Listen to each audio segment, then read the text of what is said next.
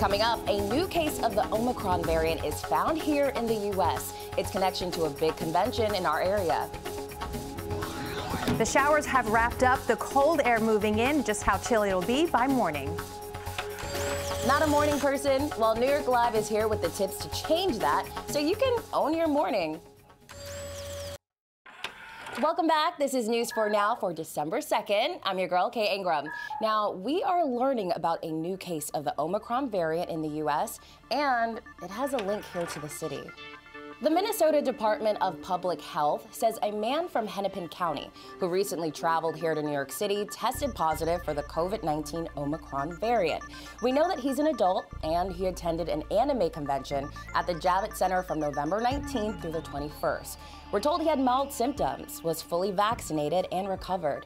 Governor Hochul says it is not a time to panic. We do anticipate there'll be more cases, but to the extent that they are mild, we'll address them. This is not cause for alarm. Again, it was foreseen ever since it was first uh, reported out of South Africa that we knew it would come to New York State at some point. As of Thursday morning, there are no confirmed Omicron cases in the city, but hospitals are already busy. The state has identified 37 hospitals with fewer than 10% of their beds currently vacant. Six of those facilities are in our area. Officials say the beds are mostly filled with flu and non COVID patients, and other hospitals can take on additional patients if necessary. Now, in New Jersey, a Howell High School student is in huge trouble after posting a photo of a rifle on Snapchat. We don't need what happened in Michigan, as heart wrenching as that is, to be, you know, vigilant and, and to be aware as to what unfortunately has become commonplace in our society. This is the photo with the caption, Don't PU tomorrow, posted by the student. That message was interpreted by police as don't pull up to the school tomorrow, don't come here, or else. The principal at Howell High put out a statement Tuesday night, reading in part that the post was immediately investigated and found to be not credible. The principal said that the student will not be returning to school for the immediate future. Police also said that the gun depicted in the Snapchat photo is actually an airsoft pellet gun. It looks like a real semi assault weapon, though. Police say the boy's father purchased the pellet gun. And it is a historic inauguration in Connecticut. For the very first time ever, a woman has been sworn in as mayor of Stamford. To the best of your abilities, so help you God. I do. Congratulations, Madam Stamford's Government Center was packed as Caroline Simmons took the oath of office as the city's 32nd mayor. The mother of two, with a third child on the way, vowed to be mayor for everyone.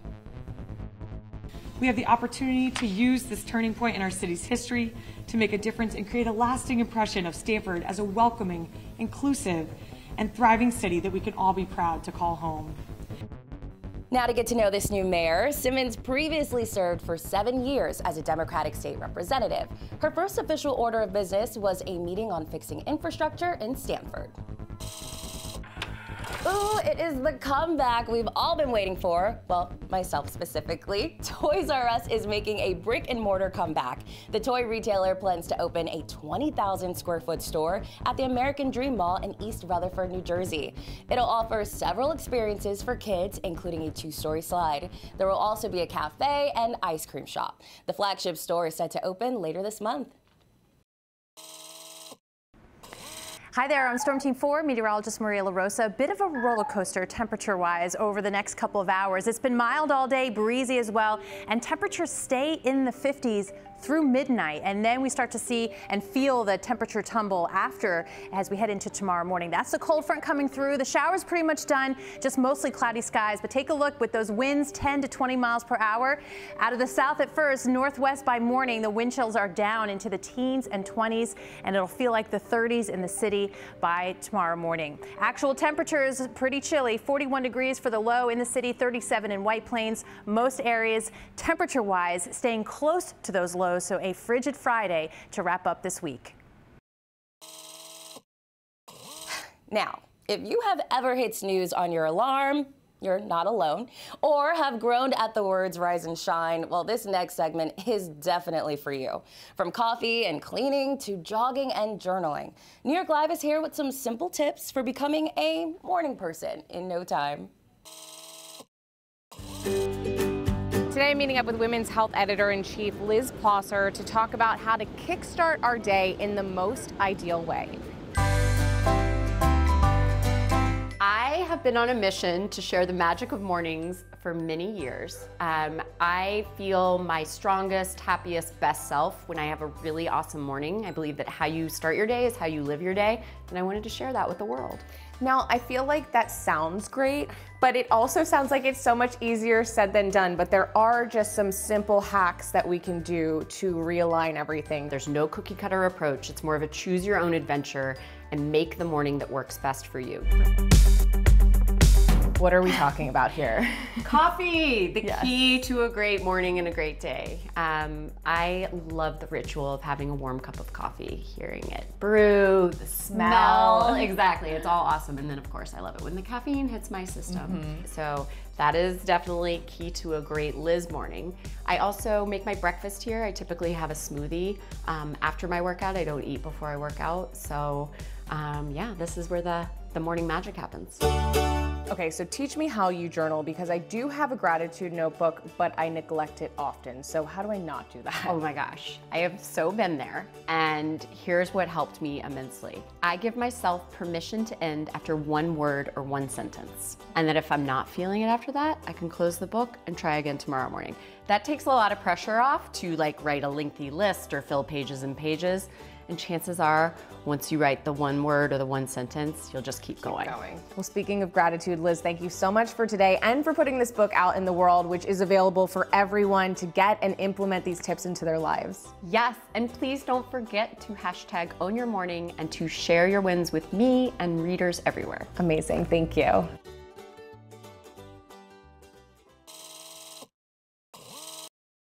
The Christmas tree here at 30 Rock is shining bright tonight. It was lit Wednesday night.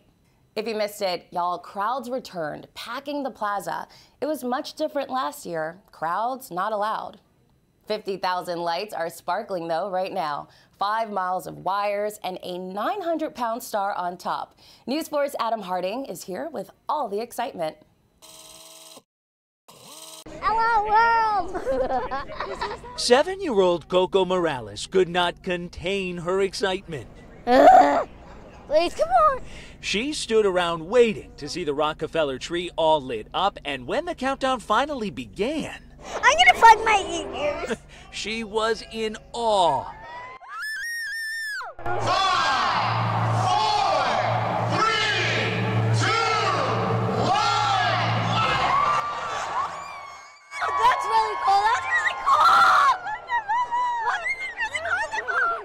It's so sparkly. The lead up to the big reveal, a live holiday concert. and there were crowds, such large crowds. Far cries from what we saw in 2020. We've been waiting since um, six five, five uh, but it's worth it. It's definitely worth it. Among those braving the cold weather, Jenny Jones, here from England, celebrating her birthday. It's my big 60th birthday, so uh, with all my all my friends from England have come to join me to celebrate. First time in New York, and you came specifically for the Rockefeller Center Christmas tree. and I'm so excited. Jaden Kirsch is visiting from New Orleans. Like being here is awesome. Like, I could have not asked for a better Christmas gift, honestly. All right, friends, well, I'm going to figure out how to make my way to that Toys R Us. But in the meantime, thanks so much for joining us. We'll see you back here tomorrow.